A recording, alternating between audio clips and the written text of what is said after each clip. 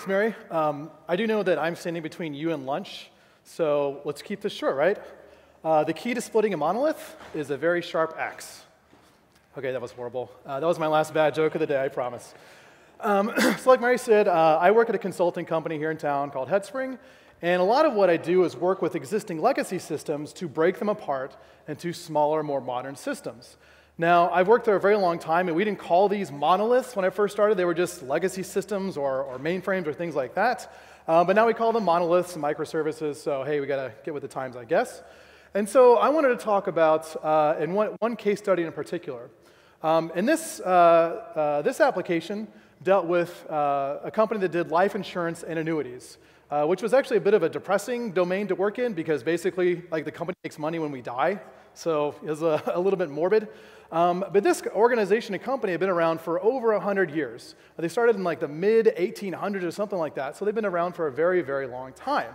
And the existing system that they were dealing with was also around for a very long time. It actually started sometime in the mid 70s. So this existing code base was over 40 years old. Um, it probably wore flannel in the 90s as a like solid Gen X system. Um, and uh, this system, though, had got this company to where it was today. Uh, this company was the leader of their, their industry because uh, they had this system for, for decades that none of their, their competitors had. Uh, but this system, like many systems, had started to show its age and could no longer keep up with the business. Uh, the workforce itself that was responsible for maintaining this ex- existing system uh, was also aging out of the company. In fact, uh, a lot of the developers we were talking to were reaching a retirement cliff in five to seven years. The developers were actually pensioned, which is like unheard of, right? Nobody here has pensions anymore, but they had been around for so long, they actually had pensions. And once they hit 55, they were out the door going ice fishing or something, and we would never see them ever, ever again. So, a huge risk to the company that this existing code base had all this knowledge pent up in these people that were about to just leave. And so the uh, IT organization saw this, said, okay, we have a really big problem on our hands, uh, this big cliff coming up. So why don't we just buy a new system that'll replace the existing system? And that, unsurprisingly, uh, failed magnificently because this is a custom system that had been built up over decades. And you can't just take some off the shelf product and expect it to replace all of that sort of things that had built up over the years. So after buy didn't work, the company looked around and said, okay, clearly uh, we can't buy our way out of this problem. So why don't we do something new? And they looked around and said, well, it seems like a lot of people are talking about microservices, uh, so let's do that thing, um, whatever that means. So they said, clearly we have a monolith, and let's go to microservices. Um, now, one of the problems I typically see in this kind of uh, approach is it can be difficult just to define what exactly is a monolith. Is it just a system that's really old, like it could have children and the children could have children as well? Um, is it just that it's very large? Um, but I've dealt with a lot of large systems that still serve the business very well. So, what differentiates large systems that do well for that organization versus large systems that don't? So, I looked at this and said, none of these definitions are that good. Like, everyone just says monolith's bad, microservice good. And for me, a, micro, a monolith is really a software system whose design, data model, and, and user interface combine too many multiple competing business domains into one single system uh, and application and data model. And it's that competition that really tells us if that system can no longer be brought forward anymore. If that system has too many different people having too many different concerns inside of it, um, then we're going to have a, a, a, point where we can no longer bring that system forward anymore, and the system uh, development basically grinds to a halt. So we don't want this, right? Because that means that the system we're, we're dealing with can no longer grow with the organization. And I hear a lot of like, instead of doing monoliths, we should just go do microservices. But there's a lot of different things between a big system that doesn't work for the company anymore and these really small systems.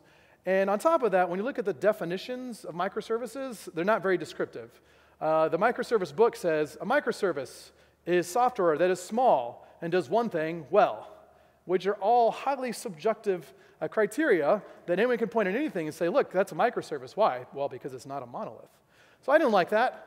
Uh, so I had my own definition, which was a microservice is a service oriented architecture in which we're angling towards the smallest possible, still autonomous boundaries. So microservices aren't applications, they're not components, they're not widgets, they're not modules. They're still services, uh, but we're trying to build towards small boundaries. So in this organization, this life insurance organization, the first thing I wanted to understand is, well, what's wrong with the existing system? I mean, I see it's like old and green screen, that's, but what, what exactly about it is causing you problems that mean you can no longer move forward as a business on top of this technology? And so his main business challenges was one, I want to modernize the workforce. Our existing processes are completely tied to the interface of this legacy system. If we want to try new things, try new business ideas, we can't because it's all stuck in this existing system.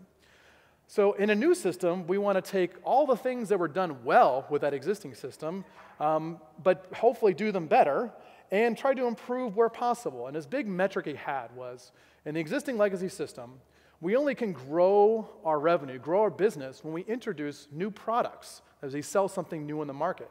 In the existing system, we've proven that we can only release new products once every five years, which is a very, very long time. And his yard mark for success in the new system would be two releases a year, two new products a year. So that's an order of magnitude set of uh, agility that he wanted to go for from the old system to the new system. Now, in my head, as a consultant, I know like technology is not going to solve all of those problems. Like going from five-year releases to six-month releases for products that touches everybody in the organization is going to be a lot more than just like going from uh, green screen to like React. Like that's not going to solve all of your business problems. So the system that we design has to be able to enable those kinds of releases. I also talked to the IT folks to say, what are some of the things that you want to enable in this new world that you have? Um, I heard mainly buzzwords, which is kind of typical uh, because uh, this organization was mainly used to dealing with the old existing system. And so everything they wanted to do in the new system, they wanted to be able to say, you know, we are a, a modern development shop, which means we're going to be agile, we're going to be DevOpsy, and we're going to be modernized. All the things that uh, I guess a CIO would, would want to say. So this would involve, for us, a four-step strategy, the four Ps. Uh, we're going to start with gaining some perspective and exactly what the system is doing today. Build out a plan for what the first new system is going to be and how we're going to approach the overall problem. Build out a pilot program for that first system that's going to go live. And finally, after the pilot program is finished, then have a phase migration from one system to the next. It's still P, it still counts, four Ps, I promise. So, step one is gaining some perspective. This is a step that a lot of organizations I deal with either spend way too much time on, like years and years and years, trying to gain perspective and analysis, or others to just like Leeroy Jenkins right into it and just like want to start developing, start building stuff. So it's important that we kind of approach it like I kind of think like how do the modern art masters approached like uh, masterpieces and, and uh, exquisite sculptures. That is, they don't try to design every little component and piece up front. Instead, what they try to do is have a broad sketch of the overview of what's going on and then provide enough detail in some areas to be able to get started. So we're going to try to understand the what, the who, the why, the when, the how of everyone affected by this existing system. So, as part of this, we're going to con- conduct quite a few user interviews and personnel interviews of everyone involved in this system. And along the way, we're going to get a lot of history lessons. Like, we'll hear about the story about Marcia in 1987, who approved that claim, but by God, she really should not have approved that claim. And of course, we have to approach this with uh, empathy and respect. Even in the back of our head, we're like, geez, could you let it go? like, it's 30 years ago. Um, so, as part of this, we'll see that emotions are going to run really high. Um, a lot of times, uh, especially as a consultant, when I'm coming in, I'm coming in usually as like the second or third attempt to try to get off of the existing legacy system. So there's going to be a lot of animosity and hurt feelings and uh, just uh, tension and strife between uh, groups inside IT, between groups inside the business. Um, so I have to approach this uh, with a lot of soft skills. Uh, which are ironically named because they're actually very hard, but we call them soft. And so I have to practice empathy, uh, good listening skills, good comprehension skills uh, with the people I'm interviewing to make sure that I'm uh, both hearing what they're saying, um, gaining trust, and making sure that what I'm building is actually going to support them and make their lives better. So, as part of this process, I'm really uh, performing a mapping exercise. In which I'm trying to map the people, the processes, information, and technology around this system. Now, mapping people could be somewhat straightforward. Um, you could just go look at the org charts and say, this is how everyone's organized in the company. But things I try to look for are who are going to be my potential champions inside the organization? Who are going to be the people that, after I deliver for them, they're going to go and advertise for me inside the company, like, hey, you should work with these folks next. You should, you should get your system and your set of functionality on the docket next because it's done so well for us. I'm looking for those domain experts. Who are the people that can answer the hard questions about what the system should or should not do? And so I'm trying to build out just a, a, picture of who are all the key people involved in order to be successful. Now, this is never going to be 100% accurate or correct. Before we go live, there's always going to be one group that pops their head up and says, Wait a second, what are you trying to do? You can't go live. Um, it's usually legal. Like, that's almost always the case. Like, someone, someone's always pops up from there. Uh, but I'm trying to find all the people who care about what we're trying to build and can either have a hand in success or will be a barrier uh, to it going live. I'm also going to be mapping the processes within the organization. And one great resource for this is value stream mapping. Now, value stream mapping is very popular in the lean community in software, but I'm trying to take the business focus approach, understanding the business processes at play. So I'm looking for things like how long does it take from when a claim comes in to when it actually gets paid out? What are all the steps that, that happen as part of that process? How long does it wait for, for it to take to go to one step to the next? And how many things do they do at once? All those kind of lean concepts uh, come out of this value stream mapping exercise. And as part of this, I'm actually going physically to where people are doing the work to watch them actually perform these processes. What we don't do is send out a survey and say, Tell me what your workflow is. And they get back and they're like, Step one, open the application. Step two, approve the invoice. Step three, go home. Like, there's probably more involved than just opening. And so I'll go sit and look at what they're doing to see okay, actually, they've got a whole Excel spreadsheet over here, and they've got post it notes all around the cubicle describing the actual process that's going on. I want to capture every single activity that's going on to understand what processes are actually enforced and captured by the system versus what processes are actually around the system and between people. This will include some information mapping exercises as well. So, all the data that's captured, uh, that's being read, being written, both inside the system and outside the system. So, some organizations, they're able to capture a lot of that information inside their mainframe or database, but also see like uh, you've got a lot of paper files and folders around here, and really your workflow is just email and Skype. So, trying to capture those sets of uh, information as well gives me the complete picture of everything that's going on. I also want to understand, uh, outside of just that single legacy system, what are all the other technologies at play here? I guarantee if you have a system that's older than a decade, a developer at some point has given a connection string to the business. And now Excel is hooked up directly to the production database, and critical core business functionality that no one knows about is on the CIO's desktop where they're running their daily numbers and daily reports. That's absolutely the case. That's why I want to have these interviews across the organization to understand where are these, where are these minefields, these grenades these, that, that I will, uh, I'll inevitably run into, that when I switch off that legacy database, suddenly someone yells and screams that I've turned off their business. For the existing technologies, we'll start to catalog what we see in that system. So it'll be what applications and systems are being used. What functions and operations are possible in those systems? How often are those functions and operations used? When are they being used? I'll do a lot of instrumentation here to understand this, uh, this button they say is so critical is only pushed once a year. So how important actually is that, uh, is that function? For individual screens, I'll look to see what information is being read versus what's being written. And we will literally print out the screens and get a highlighter and say, this is this field, this is that field, this is that field, to understand for any given screen, I have to replace that, what are all the backend pieces that we have to touch? And of course, we have to understand what are the dependencies. How does this one system connect to other systems? And inside that system, how are all the components connected to each other? Now, there are some tools to help us with some of these things, but for a 43 year old mainframe, no. There aren't any systems to do this, so it's going to be a lot of legwork for me to map out how the different pieces are connected to each other. So, with this analysis component done, uh, which I want to limit to ideally three months or less. Like if you're taking a year to do this, it's probably a bit too long. Again, we're trying to just gather enough information to build out a plan of how to attack this overall problem. Now, to build out a plan, we of course need to look at what are our possible strategies.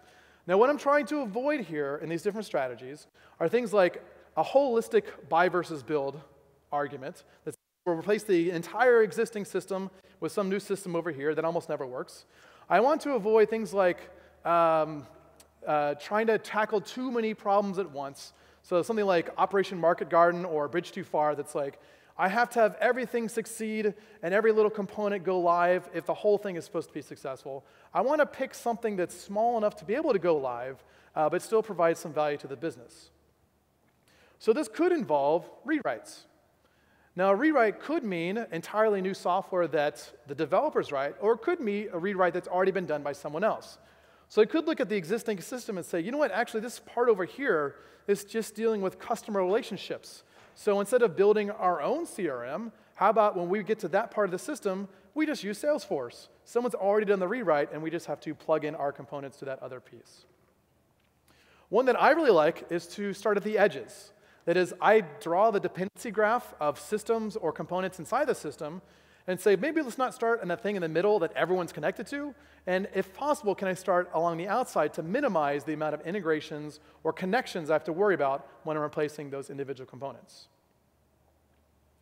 If I look at the overall business process or value chain, we can look starting at the beginning or end of the overall business process as a means to minify the amount of integration and uh, connections that I have to worry about as I replace individual components. So this case, I can start with a sales process or at the very end of the process. But ultimately, this comes down to if I'm going from a single system to smaller systems, I have to actually define the names of those boxes that I'm drawing on the board. So that comes down to defining the boundaries of our different services. Now, one thing that I've found a few times is uh, people assume that the, the boxes they draw initially are the correct ones. But over and over, I've found that the initial boundaries we draw on the whiteboard are going to be wrong. And so we should plan accordingly.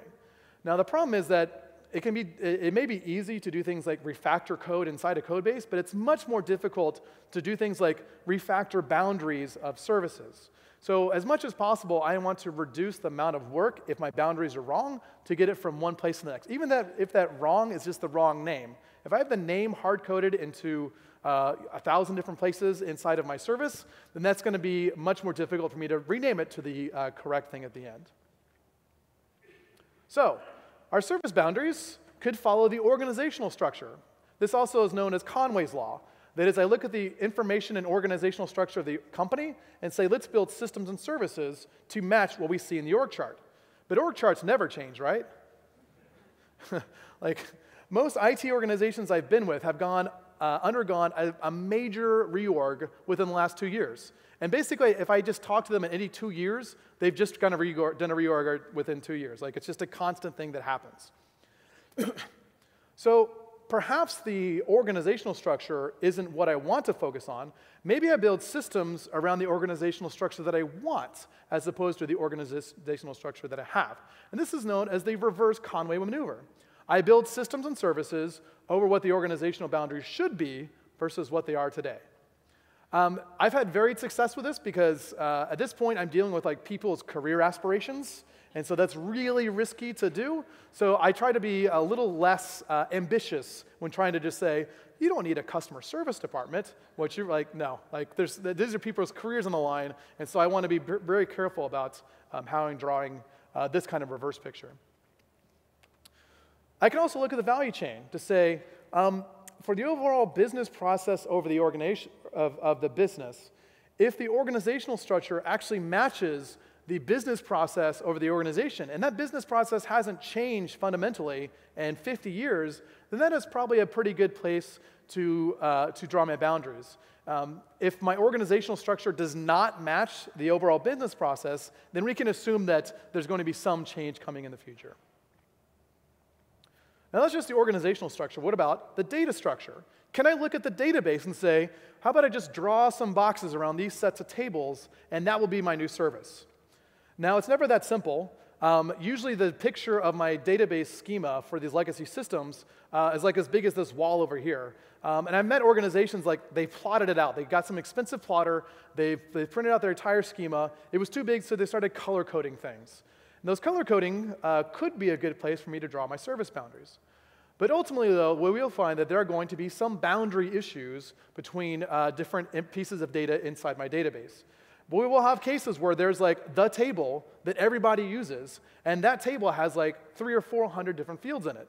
And so it's this one table that means everything to everyone, and that's going to be very difficult just to say, I'm going to lift this one table up and put it over there, and now it's going to be its own individual service. I could look at business or functional areas to say, well, maybe the organizational structure is a little bit too broad. Let me dig one level deep inside of each part of the organization and see how do they organize themselves internally inside of their own organizational boundaries. And maybe that's a better way that we could look at my service boundaries. Or I could look at value streams. That is, the overall business processes that derive and define value for the organization. Um, these are things that kind of capture an entire business flow. These are possible areas as well that I could define my service boundaries. Now, the challenge here is that uh, value streams often cross organizational boundaries, so that will mean that I may be building systems that have to be used by multiple parts of the organization. So, with all this kind of cataloging definition of service boundaries, we have to decide at some point where are we going to start? And what I like to do here is to try to catalog the different services that we've identified, the different areas of the system, and then plot them against the risk associated with pulling those different pieces out. And ideally, I could start with something that is very low risk, but at very high value. Um, that never, like that never happens. There's never a piece of the existing system that is really easy to pull out, but also super high value. And instead, you always find the thing that is most valuable to the organization is also the hardest thing to pull out. So I, there's probably something in the middle there that's high enough value but low enough risk that would be a good first step in the process to be able to pull out.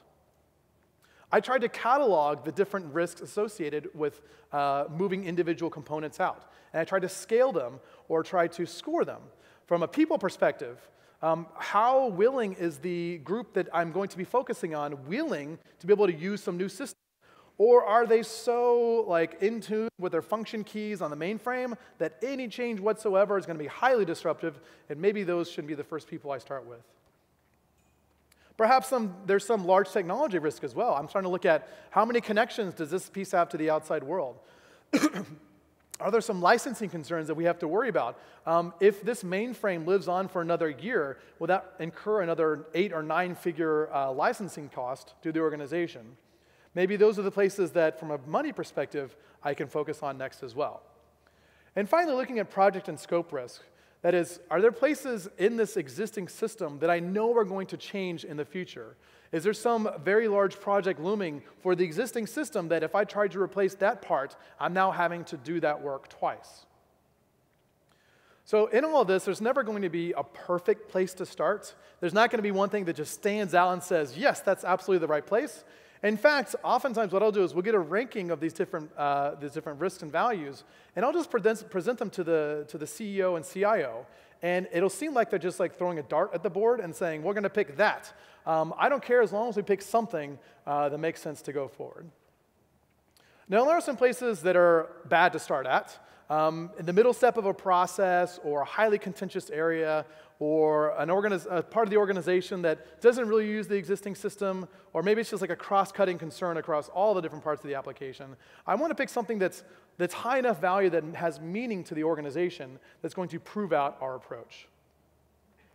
Now, as part of this, we're going to have to uh, worry about transitions. That is going from the old system to the new system.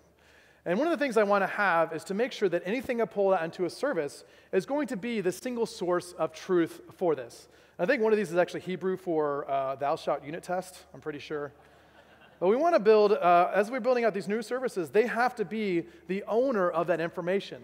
Um, they have to have their own information model that they are in charge of that isn't leaked out to the outside world. So this is going to mean that we're going to have to do things like migrate data paths from the old system to the new system. And the way this will generally work is that I start with my existing monolith, and hopefully you can actually change the existing system uh, will write to both locations. Then I modify all the places in the old system that read from the old database to read from the new database. Then I modify all the places that write to both places to now just write to the new place. And then finally, I go back and remove all the old information from the old database, and it's all going off the new structure completely. What I'm trying to do, though, is just avoid any kind of bidirectional updates. If I have two sources of truth, this is going to cause a lot of contention, and ultimately I've seen these kinds of like, I can edit the thing in both systems, uh, ultimately fail. We can do this by disabling functionality in existing systems. So this could be things like, you're now going to be approving invoices in this new system. So just remove that screen in the existing system. Or maybe we can't remove the screen, but we just disable that function so you can't do it in the old system going forward. So this comes to our next P, which is going to be the pilot program, which is trying to come up with uh, a complete running system and application that still performs all the functions of the business, but doesn't necessarily have all the bells and whistles of the existing system. So that is, if you took anything else away from this, it wouldn't be uh, a complete running system. Um, we want to have the minimum pieces available to be able to perform uh, whatever that function is as part of it. So part of this is going to be building out a dedicated team.